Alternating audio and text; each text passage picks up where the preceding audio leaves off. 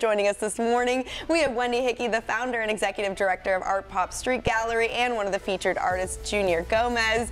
Hey, it's your boy Junior. Have you ever thought about how it would be like to be on live TV?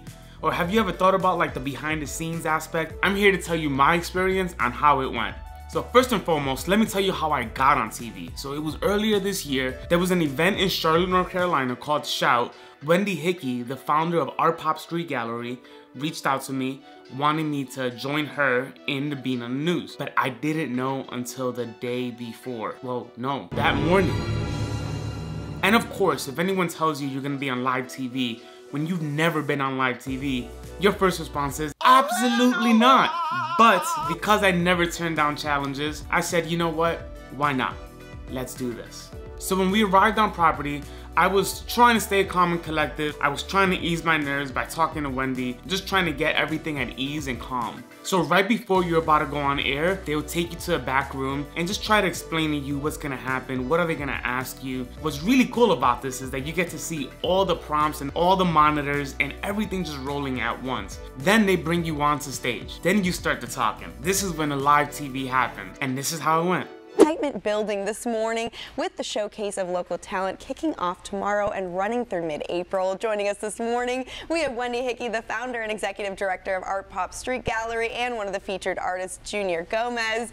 How excited are you guys for kickoff so tomorrow? So excited. We can't wait. Yeah, yes. we're ready. I mean, tell me a little bit about Art Pop and, and, kind of what that is for people who don't know. Sure. We're, uh, Art Pop Street Gallery is a 501c3 mm-hmm. nonprofit that showcases the work of local artists and helps them to achieve sustainable success. Mm-hmm. And uh, every year we feature 20 local artists. Most people know us by billboards, so you'll see our okay. local artists on billboards. And um, we're starting the Charlotte Shout tomorrow. Right. And Friday through Sunday, we'll have uh, four different artists set up every weekend of Shout, and Junior Gomez is one of our artists. So tell me what it means to you to be a part of this. I mean, it's just such an amazing collaboration of all the artists. No, absolutely. So being a part of Art Pop Streets Gallery's family and being a part of Shout is just an incredible opportunity to have my work displayed at, mm -hmm. and exhibited in front of people as they're walking around the event. It's just a massive opportunity.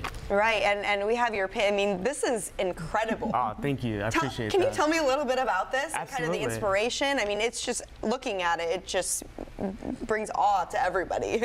Thank you. So I every year I take a trip somewhere around the world. Last year I took a trip to Thailand.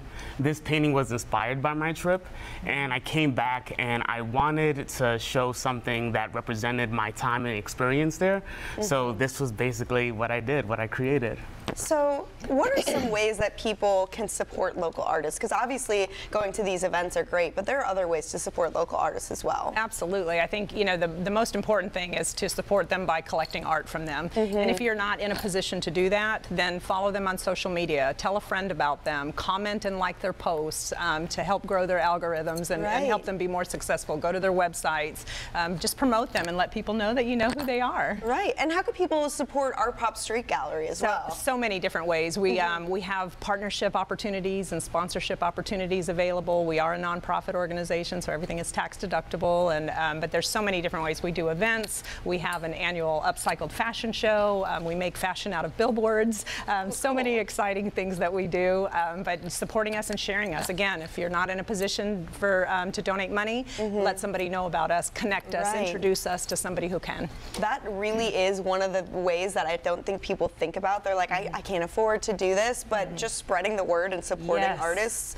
goes such a long way. 100%. Yes, yeah. absolutely, absolutely. So where can we go to follow you and find more from you? Because already, I mean, looking at that art, I, I got to see more. oh, well, you can follow me at Junior Designs underscore at Instagram, mm -hmm. or you can go to my website at juniordesignsart.com. Perfect. And we can go to charlotteshout.com to find more information about all these events. And I know that this is, what, 10 years of, of you guys? Yeah, so this year is our 10th year anniversary, and this is our second year at Shout. We'll be in the Wells Fargo Atrium this year, and there's so much going on in the atrium. It's not just Art Pop Street Gallery. There's lots of activations mm -hmm. there, but we'll be there every weekend with four different artists. So exciting. Well, thank you guys so much for being here thank today. Thank you. And again, charlotteshout.com to find more information. Thank you so much. You may be thinking, wow, he was calm and collected. I was shook. I was shook out of my mind.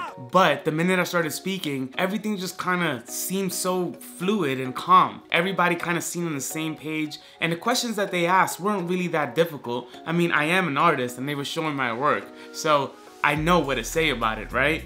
So there was no really any reason to be nervous well, there, there is a lot of reasons to be nervous on live TV. All of that went away for some reason. I was just having fun and enjoyed the moment. So if you ever want to be on live TV, know that you can do it. You don't gotta be nervous. It's all good fun. Just know that if you're nervous, there are other people around you that are nervous too. So whatever.